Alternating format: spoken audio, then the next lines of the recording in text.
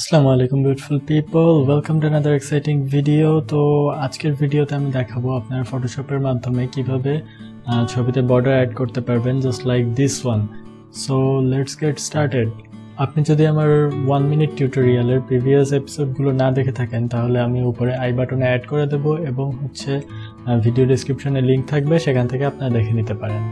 So ফার্স্টে যেটা করতে হবে, ছবিটা আমাদের ফটোশপে ওপেন করে নিতে হবে। ওপেন করার পরে একদম জাস্ট সিম্পল এখান থেকে ইমেজে যাবেন ইমেজ থেকে হচ্ছে ক্যানভাস সাইজ ক্যানভাস সাইজে যাওয়ার পরে এখানে দেখবেন যে এটা মাঝখানে সিলেক্ট করা আছে কিনা, এবং হচ্ছে যে রিলেটিভ এটা টিক মার্ক করা আছে কিনা।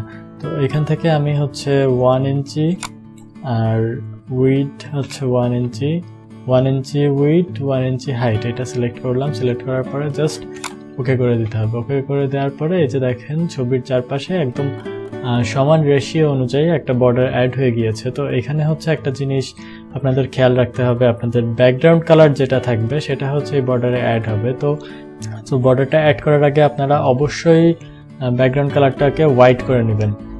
সো আজকের ভিডিও এই পর্যন্ত ছিল। Hope you guys like the video if you like it then give it a thumbs up and share with your friends and I will see you in the next one peace